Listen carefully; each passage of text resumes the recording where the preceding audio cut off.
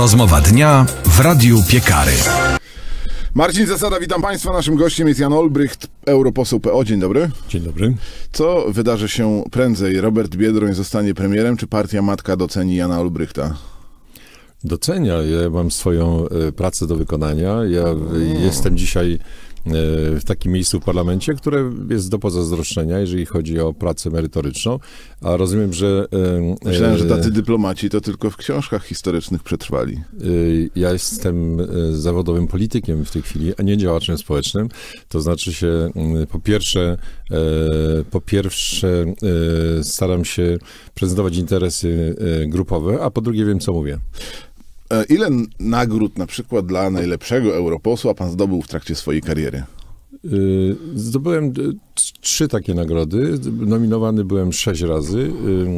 Y, Prawdę mówiąc, te nagrody dostawałem za różne sprawy, ponieważ zmieniały się mo- moje, moje działania. Jedną dostałem za politykę regionalną, współpracę transgraniczną, drugą za działania na rzecz miast, a trzecią za budżet. No, sporo. Na Śląsku jedynką e, do Europarlamentu zawsze będzie Jerzy Buzek. Ile razy pan był dwójką na liście PO? Ja byłem, nigdy nie byłem dwójką. Nigdy. Tak, to tak. co, ani razu pan na drugie miejsce nie zasłużył? Ja pierwszy raz byłem na piątym y, i skończyłem na drugim, bo u nas wiadomo, że w odróżnieniu od innych krajów głosowanie jest preferencyjne, czyli głosuje się na osobę. Y, W innych krajach głosuje się po prostu na nazwę partii. Ja pierwszy raz startowałem z piątki i skończyłem na dwójce. To, a na, drugi dwójkę, raz na dwójkę pan nigdy nie zasłużył? Nie, bo jest zasada, że w pierwszej trójce musi być kobieta. W związku z czym... Od w- niedawna. W drugim, tak, w drugim, za drugim razem byłem trzeci, skończyłem jako drugi i potem znowu byłem trzeci i skończyłem jako drugi. No, dyplomacja ma jakieś swoje granice, panie pośle. W maju, jak słyszę, pan ma wylądować na pozycji czwartej dla odmiany. No cóż za honor. Tak słyszałem. Cóż za, wie pan, że w Japonii na przykład czwórka to pechowa liczba jest. Nie wiem, ale, ale mówiąc zupełnie serio, to jest bardzo trudna konstrukcja ta koalicja, w związku z czym trzeba wziąć pod uwagę interesy wszystkich partii, jeżeli mają iść razem.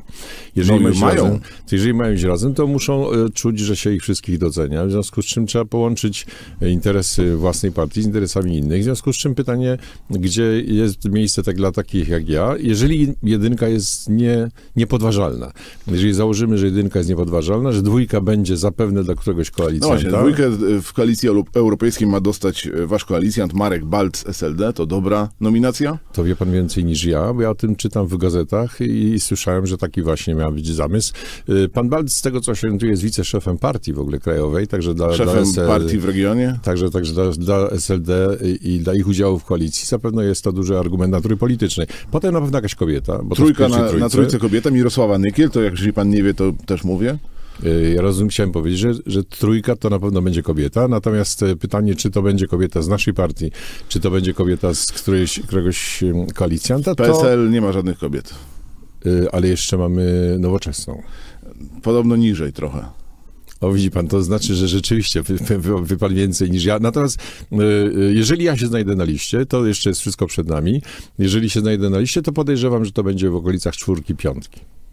Jan Olbrycht, europoseł PO, jest naszym gościem. Za sekundę dogrywka w sieci. Dziękuję bardzo. Do usłyszenia, do zobaczenia.